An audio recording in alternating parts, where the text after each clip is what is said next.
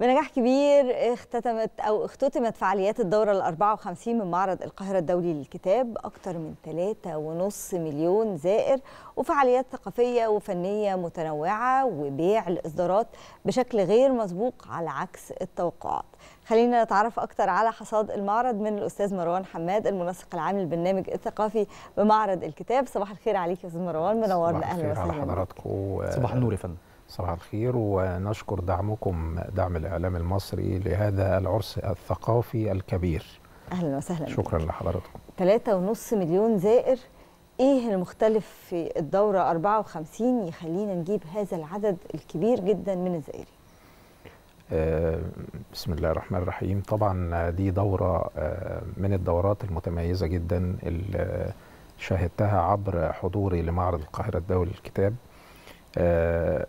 الجماهير الغفيرة التي أتت أعطتنا درسا حقيقيا أن الأسرة المصرية ما زالت تبحث عن هويتها داخل الكتاب وداخل معرضها الذي إذا نظرنا إليه نظرة إسقاطية سنجد في كل ركن فيه ينطق إشعاعا ينطق حقيقة تبعث رسالة إلى الآخر تقول إن مصر حين تكون الأزمات فإنها تأتي بإجابة غير متوقعة تماما. ما عملنا عليه الحقيقة قبل المعرض من برامج وغيرها بتنسيق مع جميع الذين كانوا فاعلين داخل المعرض كانت نتيجته هذه النتيجة التي أبهرتنا جميعا. الفعاليات و وغيرها من الأشياء التي كانت تقدم كانت تقدم بمحبة لهذا الوطن. كل كان يعمل وهدفه في الأساس أن يكون المقبل على المعرض يجد كل ما يرغب فيه داخل أي ركن من أركان المعرض حتى لو أتى وحده أو بأسرته في رحلة ترفيهية داخل المعرض، حتى الترفيه الثقافي مبتغى من أهدافنا التي نضعها ونحن نضع خطط المعرض. فعاليات كانت كثيرة بالتبعية لو يعني إيه 500 فعالية يعني؟ يعني إيه قعدتوا تفكروا في 500 فعالية وتشوفوا إزاي هتدار ومواضيع وتحطوا عناوين اساسيه كده للندوات أو لتوقيعات الكتب أو للقراءات أو للعروض أو للعروض الفنية أو لعروض الشارع أو كل الحاجات دي إزاي قعدتوا تعملوها و500 فعالية؟ هو طبعا صناعة هذا الحدث لا يأتي من شخص واحد وإنما يأتي من فريق عمل كبير يساهم فيه كل فرد وعصف ذهني بالتفكير ما الذي يطلبه القارئ وما الذي يطلبه المستمع والمشاهد داخل فعاليات المعرض. الأسماء التي أتت وحضرت وشاركت في معرضها معرض مصر معرض القاهرة للدولي للكتاب كانت تأتي وحينما تنظر إلى داخل المعرض وهذا الجمهور كانت تفتخر للحقيقة. يعني كم من شهادة سمعتها بأذني من قامات مصرية حقيقية. كانت سعيدة جدا ويعني كثير من الناس يقولون أن الانتقال إلى هذا المكان ربما يكون من الصعوبة تكرار الزيارة مرة أو اثنين أو ثلاثة لكن في قامات مع سنها ومع حجمها الثقافي والتنويري كانت تأتي إلى المعرض مرة واثنين وثلاثة وأربعة كمان فهذا يدل على أن هناك شيء في الحدث هذا العام كان يستحق أن يأتي إليه عظيم. هؤلاء طيب إحنا عايزين نفرد مساحة كبيرة كده للبرنامج الثقافي وحضرتك المنسق العام للبرنامج الثقافي كان برنامج ثقافي مميز الحقيقة ومتنوع لو نتكلم عن ملامح هذا البرنامج. آه البرنامج الثقافي آه بدأ من شعار دورة المعرض آه كل آه كلمة في داخل الشعار آه تضعنا أمام محور من المحاور. هذا المحور آه يجب أن يشتمل على الكلمة التي آه وضعت في شعار المعرض طبعا مصر هي المظلة الكبيرة التي تحوي الجميع ثقافة وعلما وعلى كافة فروع المعارف وغيرها يأتي تحتها القراءة والإبداع والتفكير. وهذا هو منطق الثقافة المصرية في هذه الدورة. من المحاور المهمة داخل فعاليات المعرض اللقاءات التي كانت تبحث عن الأسماء التي وضعت شيء في الثقافة المصرية وفي الوعي الإنساني المصري سواء كان بالأداء أو بالكتابة كان اختيار الشخصيات كثير وكنا نود أن نأتي بالشخصيات جميعا لكن الوقت طبعا وقت المعرض 12 يوم أو 13 يوم لن يسمح بكل هذه الشخصيات. كذلك المبادرات داخل البرنامج الثقافي.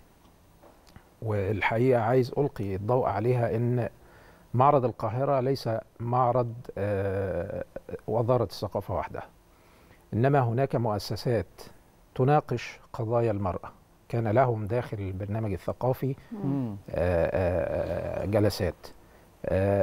الطفل الإعاقة كل هذه قضايا داخل المجتمع يجب أن ينظر إليها. لو أنني ألقيت الضوء عليها فقط عبر الكتب ربما لن يقرأه الكثير. لكن من خلال المناقشات والمحاورات وأن يرى المثقف أو القارئ أو الجمهور أمامه. حوارات وجلسات سيتخذ من ذلك أهمية بالنسبة له ويبحث إن الدولة ترعى هذا حقا فهو موجود داخل البرنامج. الفنون الحركية والأدائية وغيرها هذه تغذي الروح. وكانت الوجبة التي تقدم داخل المعرض الحقيقة ترقي أحاسيس الناس وتعود بهم إلى النغم والفن المصري الأصيل بحكم أن الدورة كلها تشتمل على الهوية المصرية. فإذا أردت أن أقدم للجمهور يجب أن أؤدي أو أقدم هويتي الحقيقية صحيح. إحنا الفقرة السابقة كان معاكم حد من المبتهلين أو الذين تماسوا مع واحد من القوى الناعمة طب. داخل مصر الشيخ محمد عمران قدم في المعرض أشياء مثل هذا القبيل كان عندنا أول يوم في المعرض الشيخ ياسين التهامي مم. وهذا قيمة من القيم الثقافية الأدائية آه ليس داخل مصر وحدها وإنما في آه كثير من دول العالم. الناس كانت واقفة على السلالم صحيح ما كانتش مكفية صحيح آه الطفل هذا الطفل هو المستقبل المصري الحقيقة. لو نظرت إلى ما قدم للطفل داخل المعرض والحقيقة أنا زملائي في هذه الجلسات والورش وغيرها بذلوا كثيرا يعني رأيت بعيني زملاء يقدمون من وقتهم وجهدهم الكثير حتى ما كانوش بيستريحوا بين الورشة والأخرى فرحة وسعادة بمن حولهم من الأطفال فيريدون أن يؤدوا إليهم ويبذلوا إليهم أكثر ما عندهم حتى يخرج الطفل بشيء مهم من المعرض أن هذا مكانه وثقافته هي الأهم وتكوينه العقلي والنفسي يبدأ من هنا. أكيد. طيب فكرة التنسيق ما بين الأشخاص اللي بيحضروا الندوات وفكرة التنسيق ما بين الضيوف والاهتمام بالتفاصيل الصغيرة يعني حتى اللي بيديروا الحوار إن أنتوا كنتم مختارينهم لايقين على الموضوع أو ده بيعبر عن اهتماماتهم الشخصية يعني مثلا حضرت ندوة عن الأغاني الوطنية وصلاح جاهين كان جاهين. بيديرها محمد الشاذلي. ويعني هو شاذلي مهتم بشكل شخصي مثلا بالأغاني وعنده يعني خلفية كبيرة جدا ففكرة اختيار كل تفصيلة صغيرة حتى لفت نظرنا جدا إن بعد أيام قليلة يمكن يومين ولا ثلاثة لفت نظركم إن الأغاني اللي بتقدم من الدي جي غير مناسبة لأجواء صحيح. المعرض فقعدتوا مع الشباب واتكلمتوا معاهم في إن الأغاني اللي بتقدم لازم تكون بترتقي بالذوق العام وكانت الأغاني اتغير شكلها خالص من الأغاني اللي فيها يعني لو يجوز لنا استخدام التعبير هبد يعني أيوة، ورزع أيوة. وكلمات تسويقيه لشكل مناسب جدا لمعرض الكتاب تفاصيل صغيرة جدا تم التنسيق بينها عشان يخرج ال- الشكل ده. نبتدي من أول الشخصيات لغاية ما وصلنا لتفاصيل الاغاني آه، عشان آه، أعطي الحق آه، لصاحبه. طبعا أنا لو هشكر بدءا من سيادة الرئيس إلى أصغر شخص داخل المعرض على ما قدم الكل شارك فيه.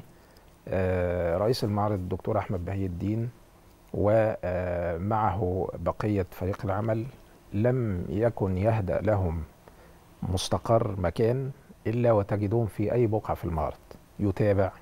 آه واللفتة اللي حضرتك أو الملاحظة اللي حضرتك قلت عليها هو اللي كان آه شافها وأصر على إنه لا إحنا بنقدم هوية مصر.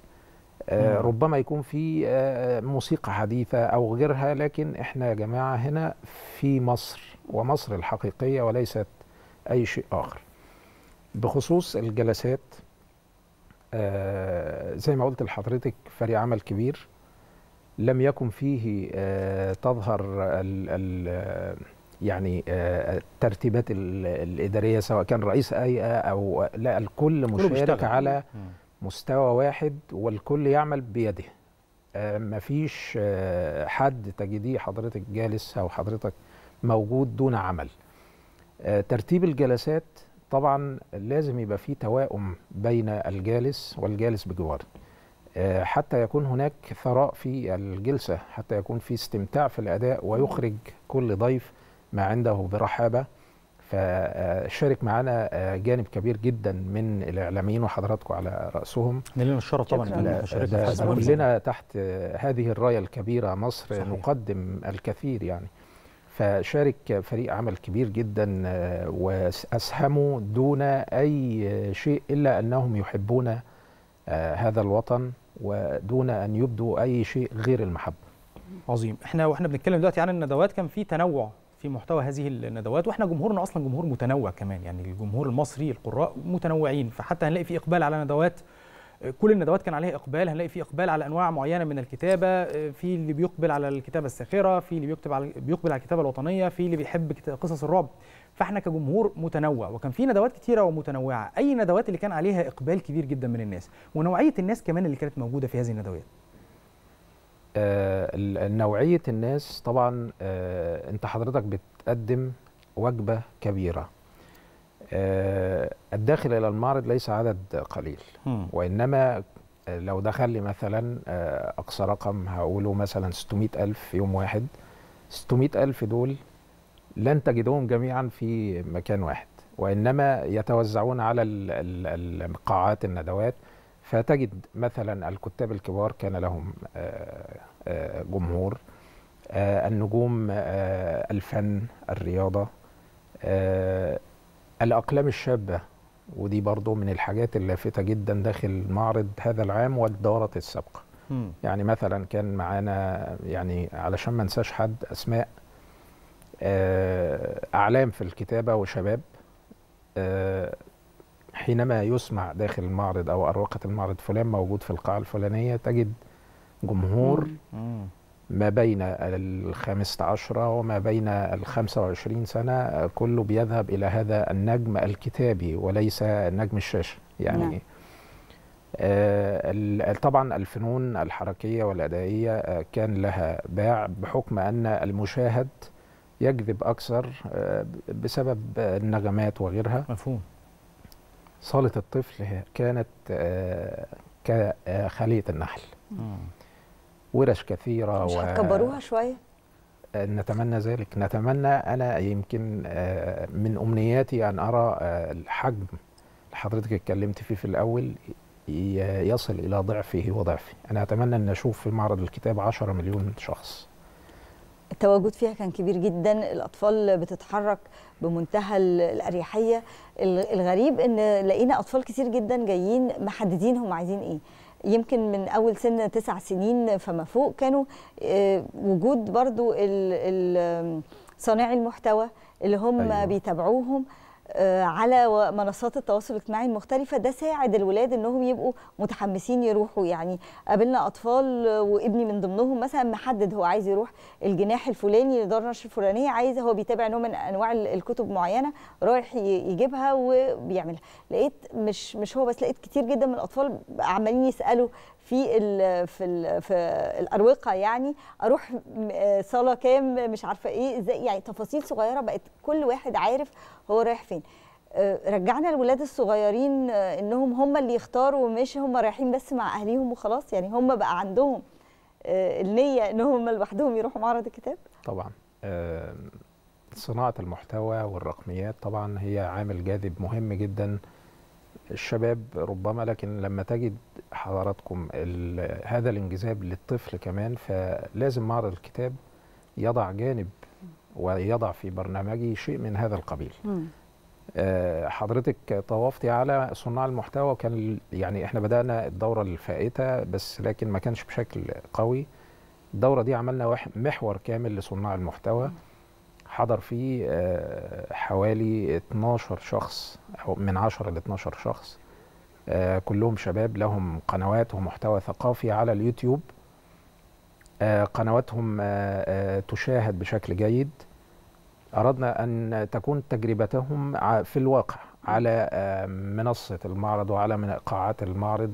فعوامل الجذب اللي حضرتك بتقولي عليها دي كانت موجودة مع الشاب ومع الطفل. الطفل أنا بحاول أن أنا أجذبه بشتى الطرق إن لم يكن بالكتاب فبصناعة المحتوى آه، بتقديم القصص المصورة وغيرها عبر الفي آر وعبر النظارات ثلاثية طبعا. الأبعاد لأننا لازم نواكب ده لو لم نواكب هذا آه، فكيف تكون الثقافة والوعي للطفل الذي آه، يدخل إلى عالم الرقميات أسرع مننا كلنا. صحيح. فكذلك في عمل جاد ربما يكون آه، ظاهرا في الدورة المقبلة بإذن الله وهو تقديم مكتبة كاملة للطفل عبر آه، ال social media عبر الميتافيرس يبحث فيها آه، دون أن يكون متواجدا في المكان آه، بالفعل. آه، ده مشروع بتصنعه الشركة آه، التي آه، أقامت أو آه، الشركة المتحدة. عملت. بالضبط عملت على هذا المشروع وهي تطور هذا هذه المنصة للأطفال قريبا إن شاء الله. إحنا طبعا بنشكر حضرتك شكرا جزيلا على المجهود اللي حضرتك كنت واحد من الناس اللي شاركوا فيه إن يخرج معرض الكتاب بهذا الشكل بشكل يليق بالفعل باسم مصر شكرا جزيلا ليك وشكرا جزيلا على الحضور وبالتأكيد ال- ال- التنسيق للدورة القادمة ومع ضيف الشرف النرويج. القادم من النرويج بكل تأكيد هيبدأ خلال أيام يعني حتى ما فيش صحيح. وقت للراحة لكن ربنا معاك كل التوفيق إن شاء الله طبعا يعني أنا ما زلت لسه متأثر شوية بال- بالمجهود بتاع المعرض لكن سعيد جدا إن أنا آه، شاركت في هذا العمل وكنت فرد من أفراد آه، قدموا آه، شيء لمصر في وقت نحتاج فيه جميعا إلى الابتسامة والفرحة والسعادة شكرا جزيلا يا فندم الأستاذ مروان. حامد المنسق العام للبرنامج الثقافي بمعرض الكتاب ألف شكر أنا اللي شاكر لحضراتكم